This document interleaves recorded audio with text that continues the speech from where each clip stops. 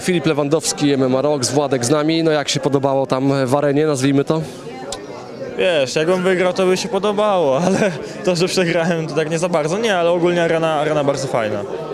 Mocna walka na pewno. E, Ty jesteś z niej zadowolony? Nie jestem zadowolony, bo przegrałem.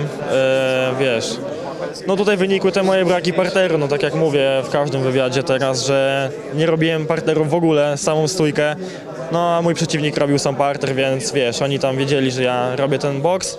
No i żeby iść tam gdzieś w nogi, e, miałem go w pewnym momencie, gdzieś tam na górze byłem, ale widzisz, no te, te braki gdzieś tam się odbiły na tym. Powiedz, jak się czułeś kondycyjnie w tym pojedynku?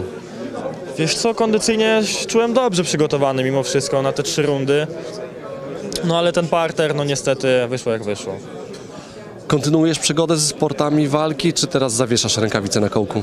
E, nie, na pewno, na pewno będę ćwiczył dalej. E, jest to mega zajawka, mega fajny sport. Mam nadzieję, że gdzieś tam dostanę e, drugą szansę na fejmie czy tam na hypie. No i wtedy na pewno, na pewno bardziej się przygotuję parterowo. Duża była presja przed samym wyjściem do walki? Y, Wiesz co, właśnie nie. Myślałem, że będę się bardziej stresował, a tak naprawdę nie stresowałem się praktycznie w ogóle. Jak już tam stałem, mówię, no dobra, napierdalamy się, ale no widzisz, poszedł w nogi gdzieś tam i, i, i wyszło jak wyszło. Szkoda, natomiast no myślę, że zobaczymy się tutaj jeszcze faktycznie. Pewnie hype będzie wam dawało szansę. Tak, bo to też głównie widzowie decydują oczywiście o tym, kto, kto, kto gdzieś tam zostanie. E, No i mam nadzieję, że jeszcze będę miał okazję zawalczyć. Ode mnie to wszystko, wielkie dzięki, trenuj i myślę, że się widzimy. Dziękuję bardzo. Dzięki.